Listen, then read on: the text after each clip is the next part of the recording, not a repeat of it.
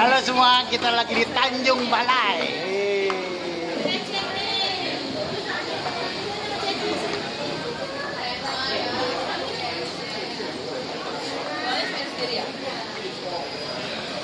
Ya, ini lagi makan siang semuanya di Tanjung Balai. Suasananya suasananya ramai sekali. Makannya bakmi. Ah. Stefanus dua porsi. Stefanus dua porsi katanya tuh. Eh, ini panitianya nih. Oke, dadah.